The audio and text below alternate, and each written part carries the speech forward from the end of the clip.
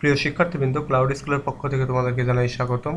আমাদের আজকের ভিডিওর টপিক হলো হার্ট অফ ডার্কনেস এটা লিখেছেন জোসেফ কনরাড চলো শুরু করা যাক। আচ্ছা এই নোভেলটি শুরু করার আগে কিছু কথা বলে নেওয়া দরকার এই নোভেল সম্পর্কে। এই নোভেলটি হচ্ছে একটি মূলত বায়োগ্রাফিক্যাল একটা রাইটিং বা এটা আমরা যেটা বলতে পারি যে একটা অভিযান বা একটা সমুদ্র অভিযান বা একটা নদীর যে অভিযান, যেখানে একটা বোট নিয়ে কোনো একটা বিশেষ জায়গায় যাওয়া হচ্ছে এবং সেখান থেকে রিটার্ন করা হচ্ছে এবং সেইখানে যাওয়ার সময় যে কিছু ঘটনা এবং সেখানে গিয়ে যে কিছু ঘটনা ঘটছে, সেই জিনিসগুলোই অ্যাকচুয়ালি এই যে রাইটিংটা সেই রাইটিংটার মানে মেইন মেইন বিষয়গুলি। তো এই রাইটিংটার যদি আমরা থিমের কথা বলি, তাহলে থিমের কথাটা হচ্ছে গুড অ্যান্ড ইভিল রয়েছে এখানে। এখানে থিম রয়েছে হচ্ছে ইম্পেরিয়ালিস্টিক অ্যাটিটিউড এবং সেই সঙ্গে যে কোম্পানির যে বিজনেস মাইন্ডেড সেই, সেইটা রয়েছে। সেই সঙ্গে এখানে আরও অনেক মানে বিষয় রয়েছে, যেমন ফিয়ার রয়েছে, অর্থাৎ ভয় বা এখানে ফ্যামিলিটির একটা বিষয় রয়েছে। আরও অনেক বিষয় রয়েছে। তো আরেকটা বিষয় যেটা এখানে বলা যেতে পারে যে হার্ট অফ ডার্কনেস এটা কেন বলা হচ্ছে? তো এইটার নামকরণের যদি সার্থকতা বা নামকরণের কথা যদি কিছু বলতে চাই তাহলে ব্যাপারটা এরকম যে, এইখানে যেই স্থানটির কথা বলা হচ্ছে, সেটা হচ্ছে যে আফ্রিকার একটা জায়গা। আফ্রিকার জায়গাটির নাম হচ্ছে কঙ্গো। তো সেই কঙ্গোটাকে বলা হয় আর আর কি, কঙ্গো যে দেশ, সেই দেশটাকে বলা হয় হার্ট অফ আফ্রিকা। তো এখানে ডার্কনেস বলতে যেটা বলা হচ্ছে যে, আমরা জানি যে সবাই যে আফ্রিকা হচ্ছে, আফ্রিকাকে বলা হয় অন্ধকারাচ্ছন্ন মহাদেশ।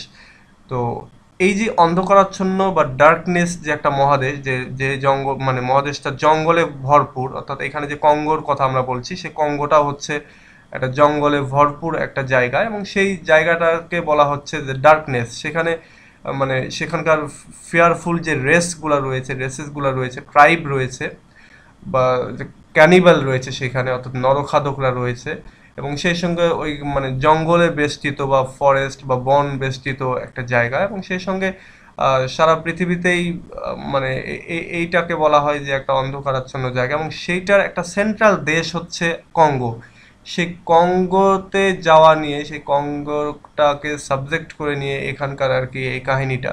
এবং সেই জন্য বলা হচ্ছে হার্ট অফ ডার্কনেস আচ্ছা এখানে হার্ট অফ ডার্কনেস আরেকটা কাহিনী কথা হচ্ছে যেমন এটা। কঙ্গো দেশের যে পজিশন আমরা যদি একটু ম্যাপে দেখি তাহলে দাঁড়ায় যে এই যে এই গুগল ম্যাপ থেকে আমি যেটা বের করেছি, দেখো, এই হচ্ছে আফ্রিকা মহাদেশ এই পুরোটাই এবং তার ঠিক মিডিলে যে ডিআরসি অর্থাৎ ডেমোক্রেটিক রিপাবলিক অফ কঙ্গো দেখো, এইটা ঠিক আফ্রিকা মহাদেশের কিন্তু একবারে মাঝখানে এবং অনেক বড় একটা দেশ এবং বলা যেতে পারে যে আফ্রিকার মধ্যে সবচেয়ে বড় দেশ। তো এই দেশটা একেবারে আফ্রিকার মাঝখানে হওয়ার কারণে এটাকে বলা হয় দেখো আচ্ছা ডেমোক্রেটিক রিপাবলিক অফ কঙ্গো বলা হচ্ছে এই দেশটা যেহেতু একেবারে মাঝখানে, সেহেতু এটাকে বলা হচ্ছে হার্ট এবং ডার্কনেস বলতে যেহেতু আফ্রিকা মহাদেশকেই বলা হয় অন্ধকারাচ্ছন্ন মহাদেশ, সেজন্য এইটাকে বলা হচ্ছে যে হার্ট অফ ডার্কনেস অর্থাৎ অন্ধকারাচ্ছন্ন একটা জায়গার হার্ট হচ্ছে এটা। এবং এইখানে যেহেতু বিপদসংকুল একটা জায়গা, যেখানে ক্যানিভালরা বসবাস করে, বিশেষ করে নরখাদক যারা মানুষের মাংস খায়, এরকম কিছু জাতি এখানে বসবাস করে এবং সেখানে প্রতি পদে পদে বিপদ। এই জন্য বলা হচ্ছে এটাকে একেবারে মানে হার্ট অফ ডার্কনেস বা একটা ফেয়ারফুল জায়গা হিসেবে উল্লেখ করা হচ্ছে। তো আমরা এবার আমাদের যে মেইন টেক্সট সেই টেক্সটে ফিরে আসি। তাহলে যেটা দেখছি যে এই যে রাইটিংটা সেই রাইটিংটার যে হার্ট অফ ডার্কনেস অর্থাৎ আফ্রিকা মহাদেশের যে হার্ট কঙ্গো সে কঙ্গোর জায়গা, বিভিন্ন জায়গা নিয়ে আর কি লেখা সেই জন্য এটাকে বলা হচ্ছে হার্ট অফ ডার্কনেস তো আমরা এইটা সম্পর্কে বিস্তারিত আরও জানব নিচে, তো দেখি। দেখো, বলা হচ্ছে হার্ট অফ ডার্কনেস এই এই যে নোভেলটা এটা আঠারোশো নিরানব্বই সালে পাবলিশ করা হয়েছিল। আচ্ছা is a novel by Polish English novelist Joseph Conrad about a narrated voice of the Congo river into the Congo free state in the so called heart of Africa আচ্ছা বলা হচ্ছে যে এই যে হার্ট অফ ডার্কনেস এটা আঠারোশো নিরানব্বই সালে পাবলিশ হয়েছিল এবং যে নোভেলটি লিখেছিল জোসেফ কনরাড জোসেফ কনরাড ছিল একজন পোলিশ ইংলিশ নোভেলিস্ট এবং এইটা মূলত একটা ভয়েস মানে ভয়েস বলতে আমরা যেটা জানি সমুদ্র অভিযান বা বড় নদীতে অভিযান। তো সেই ভয়েস এর একটা ন্যারেশন আর কি এটা এবং সেই ভয়েসটা করেছিল কঙ্গো যে রিভার রয়েছে কঙ্গোর বা আফ্রিকার মধ্যে বেশ ভয়ঙ্কর একটা নদী। তো সেই কঙ্গো রিভারের যেটা কঙ্গো ফ্রি স্টেট, অর্থাৎ কঙ্গোর যে দেশ, সেই দেশের ভেতর দিয়ে রিভারটা চলে গিয়েছে এবং সেই রিভারে যে যাত্রাটা করেছিলেন এখানকার যে স্পিকার, তিনি তার একটা কাহিনী এখানে তিনি উল্লেখ করেছেন এবং সেই সঙ্গে এই যে কঙ্গোকে বলা হয় so called heart of Africa অর্থাৎ আফ্রিকার হার্ট বলা হয়, যেহেতু এটার পজিশনটা আফ্রিকার মিডিলে সেই জন্য Charles Marlow the narrator tells his story to friends aboard a boat anchored on the river Thames আচ্ছা এখানে তোমরা জানো যে লন্ডন শহরটা টেমস নদীর তীরে অবস্থিত। বলা হচ্ছে যে এই টেমস নদীর তীরে একটা জাহাজ নোঙ্গর করা রয়েছে। সেই জাহাজের ওপরে কিছু বন্ধুর উদ্দেশ্যে এখানকার যে মেইন ক্যারেক্টার চার্লস মারলো, সে এই যে তার এই কঙ্গো নদীতে তার যে ভয়েস যেটা পরিচালনা করেছিল সে সেই ভয়েস সম্পর্কে তাদের উদ্দেশ্যে মানে বর্ণনা দিচ্ছেন তিনি this setting provides the frame of Marlow's story of his obsession with the ivory trader Kurtz which enables Conrad to create a parallel between what Conrad calls the greatest town on earth, London, and Africa as places of darkness.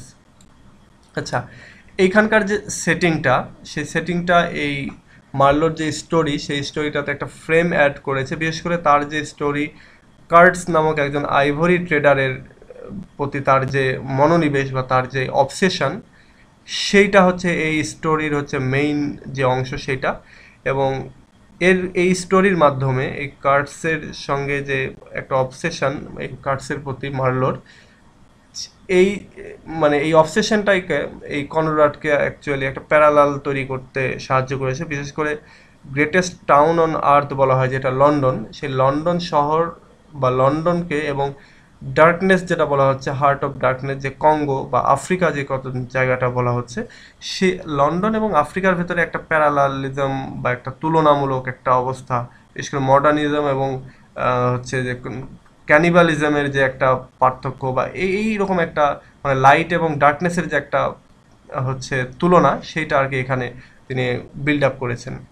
তো এখানে দেখো একটা জিনিস বলা হচ্ছে যে ivory trader ivory trader বলতে actually ivory মানে হচ্ছে হাতির দাঁত, অর্থাৎ হাতির দাঁতের যারা ব্যবসা করে, তাদেরকে বলা হয় হচ্ছে আইভরি ট্রেডার তো আইভরি মানে আরেকটা মিনিং আছে, সেটা হচ্ছে গজদন্ত। তো গজ মানে হাতি তো এই হচ্ছে হাতির যে দাঁত।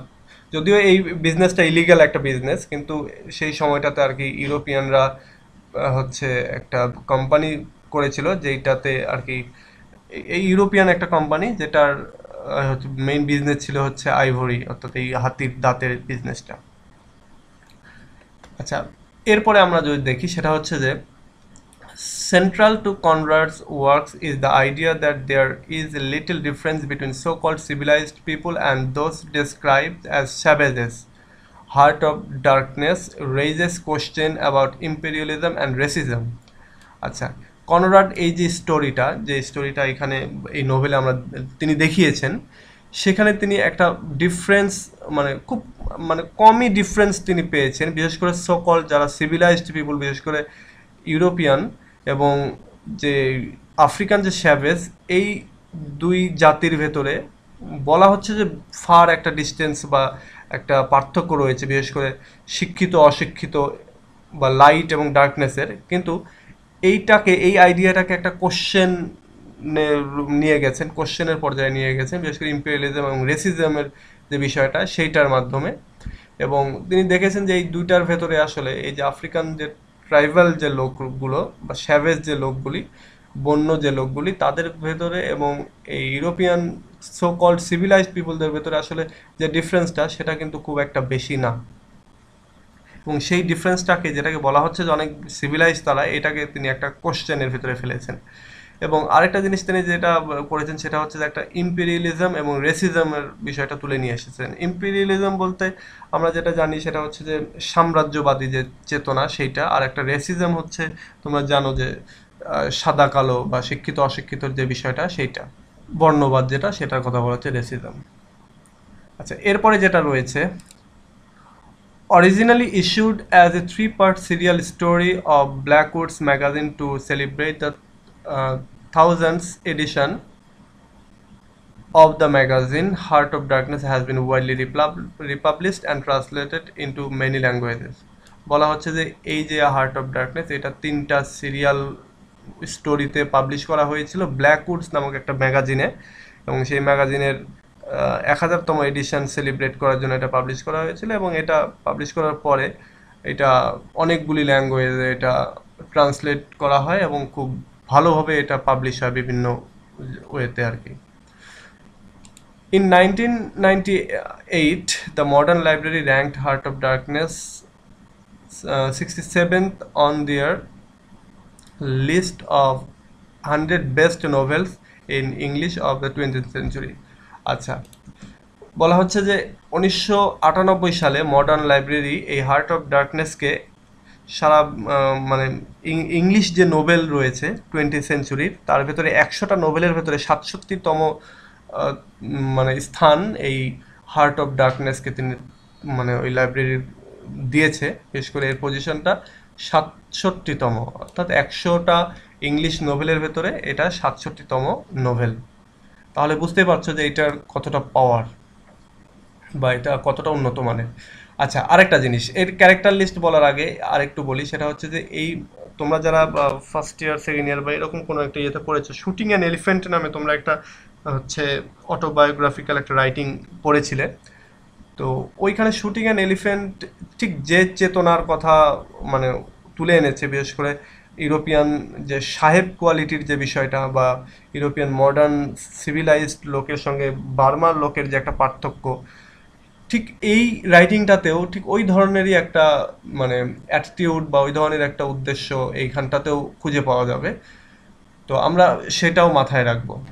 আচ্ছা এরপরে যেটা রয়েছে, আমি এই কয়েকটা ক্যারেক্টার সম্পর্কে বলি। এখানকার যত এই যে হার্ট অফ ডার্কনেসের যে ক্যারেক্টারগুলি সেই ক্যারেক্টার সম্পর্কে আমি একটু বলি। সেটা হচ্ছে যে main character Charles Charlie Marlow যেটাকে বলা হচ্ছে চার্লস মার্লো বলা হচ্ছে Marlow is a British seaman whose obsession with South of, আচ্ছা with Africa brings him into a into the interior of the company's steamboat. আচ্ছা বলা হচ্ছে যে মার্লো যে কিনা একজন ব্রিটিশ সিম্যান অর্থাৎ নাবিক তার যে অবসেশন বিশেষ করে আফ্রিকাকে নিয়ে আফ্রিকাকে নিয়ে তার যে চিন্তা চেতনা সেইটাই হচ্ছে interior on the company's steam boat অর্থাৎ সেই গল্পটাই তিনি এখানে উল্লেখ করেছেন এবং সেই সঙ্গে একটা কোম্পানি সেই কোম্পানির স্টিম বোট সেই বোটের ভেতরে সেই বোটটাকে পরিচালনা করার ক্ষেত্রে গিয়ে তার যে ঘটনাগুলি ঘটেছিল, এইখানে এই গল্পটাতে আমরা সেটাই দেখতে পাবো এবং তার যে অবসেশন সেটা দেখতে পাবো।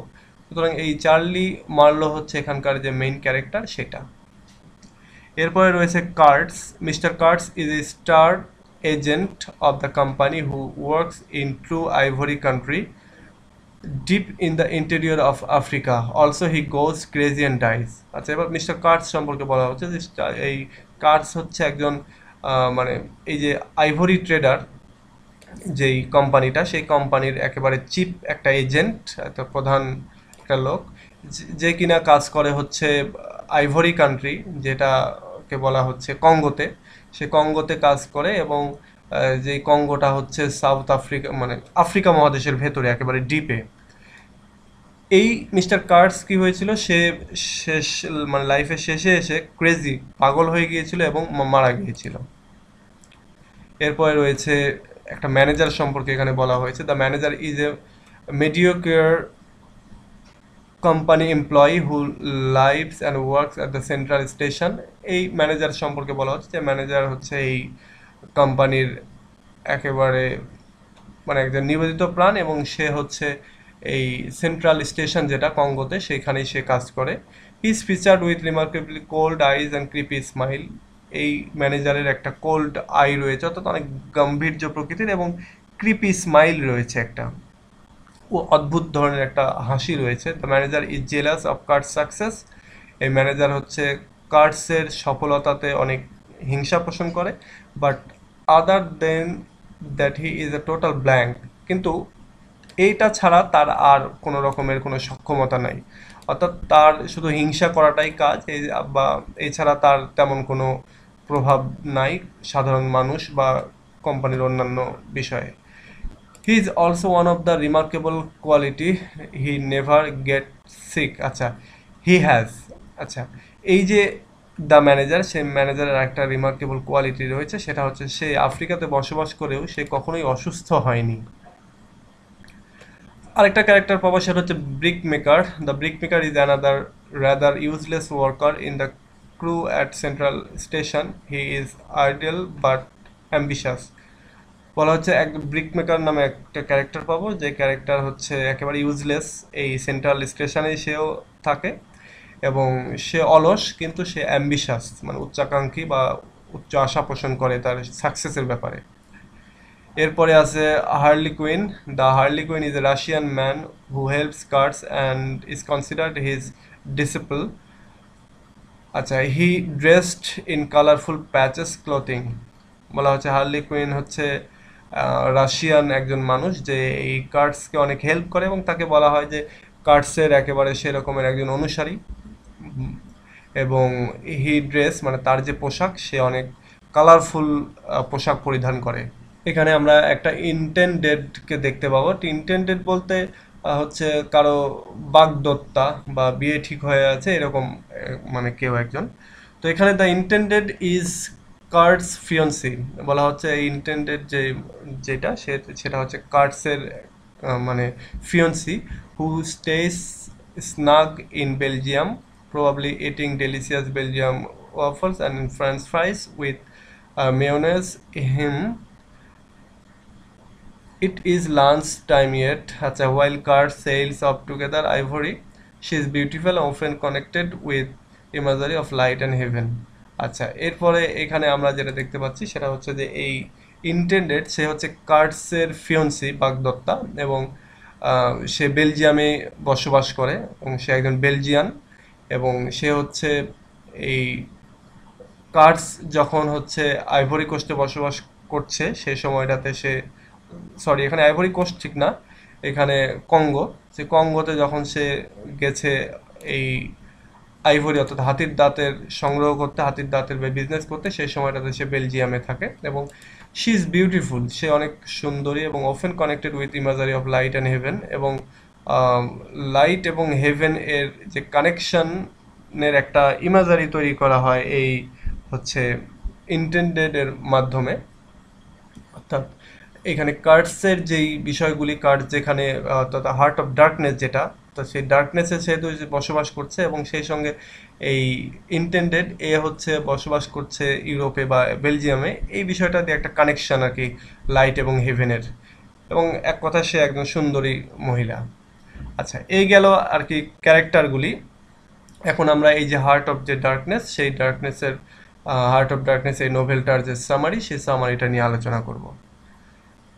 আচ্ছা শুরুতে বলি যে এইটা হয়তো বা দুইটা, তিনটা পার্ট হবে, যেহেতু একটু বড় এবং বেশ খানিকটা কঠিন। আর আরেকটা বিষয় যে এইটা যখন আমি পড়ছি সেই সময়টাতে আমি অনেকগুলি ওয়ার্ড মিনিং বা এই বিষয়গুলি স্কিপ করে যাব, সেগুলো জাস্ট সেন্টেন্স বা স্ট্যান্ডা হয়তো বা ওয়ার্ড মিনিংটা বলে যাব। তো সেক্ষেত্রে যেগুলো স্কিপ করে যাচ্ছি এগুলো অতটা মানে সিরিয়াস হওয়ার দরকার নাই।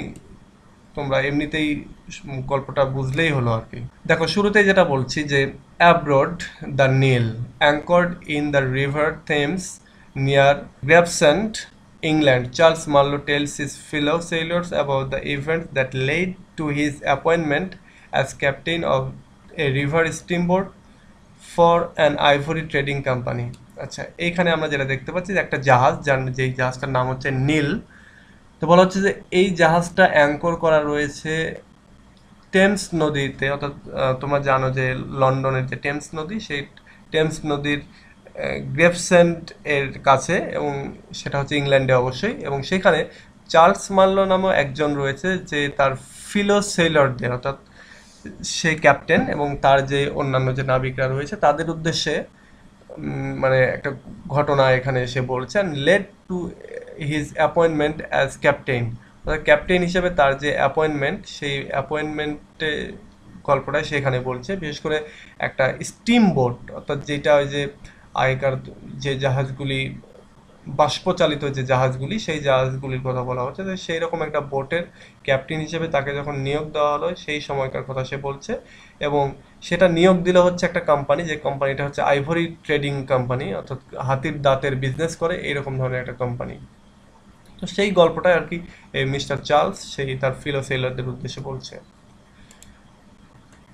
As a child, Marlowe had been fascinated by the blank spaces on maps, particularly by the biggest, which by the time he had grown up was no longer blank but turned into a place of darkness. আচ্ছা এবার যেটা বলছে যে একটা বাচ্চা হিসাবে মারলো মারলো এই গল্পটা শুরু করেছে এবং সেখান, সেই সময়টাতে একটা বাড়তি ইনফরমেশন সেটা হচ্ছে যে বাচ্চা হিসেবে মারলো সবসময়ের জন্যই একটা মানে ম্যাপ ঘাটাঘাটি করতে এবং ম্যাপ ঘাটাঘাটি করতে সে ব্ল্যাঙ্ক স্পেসগুলো নিয়ে সে অনেক মানে ফ্যাসিনেটেড ছিল এবং particularly by the biggest which by the time অর্থাৎ সবচেয়ে বড় যে বিগেস্ট যে ব্ল্যাঙ্ক পেস বিশেষ করে আফ্রিকা, সেই আফ্রিকার এই বিগেস্ট স্পেসটা যখন সে ছোট ছিল, সে সময়টা ফাঁকা ছিল, কিন্তু যখন সে বড় হতে থাকল ধীরে ধীরে, সেটার ফাঁকা থাকল না এবং সেটা একটা প্লেস অফ ডার্কনেসে পরিণত হলো। অর্থাৎ একটা অন্ধকারে পরিণত হয়ে গেল। Even there remained a big river resembling an immense snake uncoiled with it head in the sea its body at rest curving afar over the first country and its tail lost in the depth of the land আচ্ছা। কিন্তু যখন এইভাবে সে দেখছে যে একটু change হয়েছে, অর্থাৎ বড় হওয়ার পরেও, কিন্তু তখনও সে দেখল যে সেখানে একটা বড় নদী যেটা আনচেঞ্জড রয়ে গেছে এবং সেটা দেখতে অনেকটা, হচ্ছে আঁকাবাঁকা সাপের মতো, যেটা মানে আনকয়েলড আনকয়েলড বলতে তোমরা যেন সাপ যেটা বেরি পাকানো থাকে। তো এটার কথা বলা হচ্ছে যে এরকম আনকয়েলড অবস্থায় রয়েছে। বেরি পাকানো অবস্থায় নাই আর কি। এবং এটা ম্যাপের মধ্যে অনেকটা সাপের মতো দেখাচ্ছে। এবং যেই সাপটার মাথা মনে হচ্ছে যেন সমুদ্রের দিকে এবং এর বডিটা একেবারে কার্ভিং, যেন আঁকা বাঁকা রয়েছে একটা বড় কান্ট্রির ভেতর দিয়ে এবং এর লেজটা যেন একেবারে ডেপথ অফ ল্যান্ড অর্থাৎ একেবারে ভূমির মাঝে মাঝে যেন এটা হারিয়ে গেছে। The image of this river on the map fascinated Marlowe as a snake would be bird. আচ্ছা would be a bird আচ্ছা। এই যে ইমেজটা এই যে রিভারের যে হচ্ছে ম্যাপের ভেতরে যে, এই যে রিভারের যে ইমেজটা এটা ম্যারলোকে অনেক ফ্যাসিনেটেড করতো। এবং এই যে সাপের মতো এইটা, এটা মনে হচ্ছে যেন একটা পাখির মতো, আবার অনেক সময় সাপের মতো, এরকমটা মনে হয় তার। আচ্ছা আমি আমি যদি ম্যাপে আর একবার যাই এবং তোমাদেরকে দেখাই, দেখো এইখানে যে ডিআরএস যেটা আফ্রিকার যে কঙ্গোর যে ম্যাপ সেই ম্যাপে যদি আমি যাই, দেখো এইখানে একটা নদীর নদী কিন্তু তোমরা দেখতে পাবে। যে নদীটার কথা এখানে বলা হচ্ছে, দেখো এই যে, এই দিক দিয়ে এসে, এই দিকে এই যে এই নদীটা। আমি যে আরও জুম করি, তাহলে এবার দেখা যাবে যে এই যে কঙ্গোর ভেতরে যে নদীটা এই নদীটার কথা বলা হচ্ছে। বা তোমরা ওয়েবে যদি সার্চ করো, তাহলে দেখবা যে এই হার্ট অফ ডার্কনেসের সাথে এই নদীটার কথাটাই বলা হচ্ছে। আচ্ছা এরপরে দেখো feeling as though instead of going to the centre of a continent I were about to set off for the centre of the earth Marlowe takes passage on a French steamer bound for the African coast and then into the interior. আচ্ছা। এইবার এইখানে মারলো যে কথাগুলি বলছে, সেটা হচ্ছে যে, যদিও তার ফিলিংসটা এরকম হচ্ছে যে instead of going to the centre of a continent একটা কন্টিনেন্টের সেন্টারে যাওয়ার যে ফিলিংসটা এইটা না হয়ে I were about to set off a centre of the earth আমার মনে হচ্ছিল যেন আমি পৃথিবীর সেন্টারে যাচ্ছি। অর্থাৎ মার্লো এই কথাটা বলছে। Marlow takes passage on a French steamer Marlow একটা ফ্রেঞ্চ স্টিমারে উঠল এবং বাউন্ড ফর আফ্রিকা কোস্ট এবং আফ্রিকান যে সমুদ্র উপকূল, সেই সমুদ্র উপকূলের দিকে যাত্রা শুরু করলেন দেন ইনটু দ্য ইন্টেরিয়র এবং তারপরে সে ভেতরের দিকে যেতে শুরু করল। আমরা যদি এবার ম্যাপে আরেকবার দেখে আসি, দেখো, যে যেহেতু লন্ডনের টেমস নদী থেকে যাত্রা শুরু করেছিল, তাহলে এইটা দাঁড়াচ্ছে এই যে এইখানে, এইখান থেকে শুরু করে, এইখান থেকে শুরু করে এই যে এই দিক দিয়ে আফ্রিকান উপকূলে আসলো। অর্থাৎ এইখানে। এই, এইখানে আসার পরে, তারপরে সে কি করল? এই যে ভেতরের দিকে ঢোকা শুরু করল এবং একটা পর্যায়ে এই নদী দিয়ে আস- আসতে শুরু করল। তাহলে আমরা যেটা দেখতে পাচ্ছি যে, বলা হচ্ছে যে আফ্রিকান কোস্ট দিয়ে যাত্রা মানে শুরু করল, আফ্রিকান কোস্টের দিকে। অর্থাৎ আফ্রিকার যে সমুদ্র উপকূল সেটা এবং তারপর দেন ইনটু দ্য ইন্টেরিয়র এবং তারপরে সে ভেতরের দিকে ঢুকলো। অর্থাৎ ওই আফ্রিকান কঙ্গো যে নদী সে নদী ধরে। After more than 30 days, the ship anchors off the seat of the government near the mouth of the big river আচ্ছা বলা হচ্ছে যে থার্টি ডেজ চলার পরে শিপ অ্যাঙ্কর করল শিপ থামলো একটা বড় নদীর মুখে। মারলো যাকে এখনও প্রায় দুইশো মাইল যেতে হবে টু হান্ড্রেড মাইল যেতে হবে এবং সে এবার যেটা করল যে একটা স্টিমার নিল যেটা সি গোয়িং সমুদ্রের ভিতরে চলাচল করে এরকম এবং সেটাতে একটা মানে ক্যাপ্টেন যে কিনা সুইডেনের একটা ক্যাপ্টেন ছিল, সে- এটা পরিচালনা করছিল। তো সেই যে সি গোয়িং যে স্টিমার সেটা নিয়ে সে ভেতরের দিকে যাত্রা শুরু করল। He departs some thirty miles up the river where his কোম্পানির সেন্টার ইজ। আচ্ছা সে এবার যেটা করল যে এই থার্টি মাইল এই স্টিমারে করে সে ভেতরে, অর্থাৎ ল্যান্ডের ভেতরে এই রিভারের দিকে, উজানের দিকে, অর্থাৎ হচ্ছে আচ্ছা এটা উজান না ভাটি বলে, এটা আমিও ভুলে গেছি। তো এটা অ্যাকচুয়ালি স্রোতের বিপরীতে আর কি।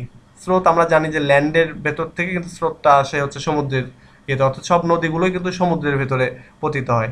তো সমুদ্র থেকেই সে যখন ল্যান্ডের দিকে যাচ্ছে নদী হয়ে, তখন কিন্তু সে স্রোতের বিপরীতে যাচ্ছে। তো বলা হচ্ছে যে সে প্রায় থার্টি মাইল সেটা স্রোতের বিপরীতে সে গেল। এবং মানে যেতে থাকল, বিশেষ করে তার যে কোম্পানির যে স্টেশন কোম্পানির যে মানে অফিস যে জায়গাটাতে, সেই জায়গার দিকে। Work on the railway is going on involving removal of rocks with explosives আচ্ছা এরপরে যেটা হলো যে সেটা যেতে যেতে সে যেটা দেখল যে রেলওয়ের কাজ চলছে, বিশেষ করে বিভিন্ন বিস্ফোরক জাতীয় জিনিস দিয়ে রক বা পাহাড় বা যে পাথুরে যে পাহাড় সেই পাহাড়গুলির রিমুভাল করার চেষ্টা করা হচ্ছে বা পাহাড়গুলিকে ভেঙে সেদিক দিয়ে রেল, রেলওয়ের রাস্তা তৈরি করা হবে, সেটা আর কি করা হচ্ছে।